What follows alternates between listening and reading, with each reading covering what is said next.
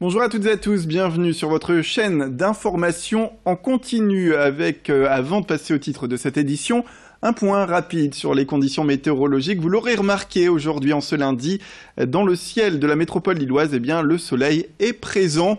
À noter toutefois quelques nuages si vous partez du côté de la côte d'Opale, puisque au niveau du Touquet, ça reste encore assez gris avec de la pluie également en prévision.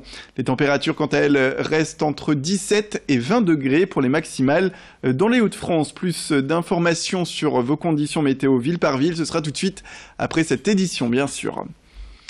Et c'est un métier dont on ne connaît pas toutes les facettes. L'architecture est pourtant à chaque seconde face à nous, dans la rue. Et c'est pourquoi l'Ordre des architectes propose 10 séances de conseils gratuits aux habitants de trois communes. Après un appel et 11 réponses de maires, eh ce sont les communes de Lys-les-Lanois, de Maubeuge et de Marquion qui vont bénéficier de ce programme. L'architecte de permanence sera disponible donc en mairie pendant 10 samedis pour recevoir les habitants, que ce soit des particuliers ou même des entreprises.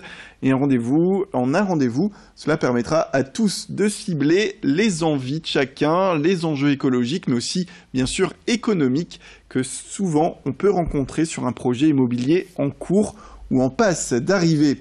Une première rencontre aussi pour afficher, selon l'ordre des architectes, que l'appel à un professionnel dans ce secteur n'est pas inaccessible financièrement et qu'il peut être très utile pour un projet immobilier. Interview d'ailleurs d'une des participantes à ce sujet au micro de Vincent Vieillard. Il y a beaucoup de gens qui n'osent pas. Et là, par ces permanences, c'est euh, de, se rendre compte de ce que l'architecte va amener et c'est une vision globale, euh, un meilleur usage des lieux, une, une, réflexion euh, à plusieurs niveaux, écologique, économique, culturel. Euh, voilà, c'est cette réflexion globale et finalement, on propose aux particuliers de, vivre cette expérience du, contact à l'architecte. Si après, le, particulier ou l'entreprise souhaite continuer l'aventure avec un professionnel, ce ne sera pas l'architecte qui donne le conseil en, mairie, ce sera, il faudra en choisir un, un autre ou une autre. Autre sujet, on connaît bien sûr les food trucks désormais, ces camions qui proposent des repas. Et bien voici désormais dans la métropole lilloise le Urban Flower. C'est un camion itinérant qui propose cette fois de la vente de fleurs. Delphine Ettori est la fleuriste qui a eu l'idée de se lancer dans ce concept innovant. Elle sillonne donc les routes de la région pour vendre ses compositions parfumées et toujours très colorées. Vous pouvez le voir sur ces images. Pour mettre en selle ce projet, la professionnelle a dû faire appel à une société pour que le camion puisse conserver au maximum les fleurs et que la route ne les abîme pas, bien sûr. Delphine livre aussi ses compositions grâce à ce camion. Pour cela, il suffit de la contacter sur sa page Facebook, par exemple. Plus d'informations avec ce reportage signé Vincent Vieillard et Alexis Tessier. L'idée euh, est venue euh, petit à petit. En fait, j'ai fait une reconversion professionnelle. Et en fait, c'est dans le cadre de cette reconversion que j'ai euh, souhaité créer ma propre boutique. Et puis en fait, je me suis inspirée de, choses que j'ai vues aux quatre coins de la France, et notamment de, de petits kiosques à fleurs dans le sud de la France, à Marseille. Et puis voilà, l'idée est venue de proposer des fleurs un peu autrement, d'une façon un peu plus mobile à travers la métropole.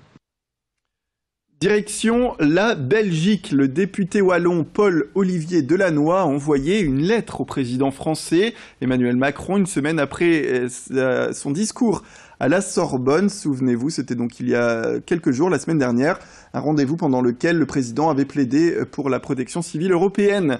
Et dans la région, justement, les frontières entre la France et la Belgique restent ouvertes à la circulation, vous le savez, la plupart du temps.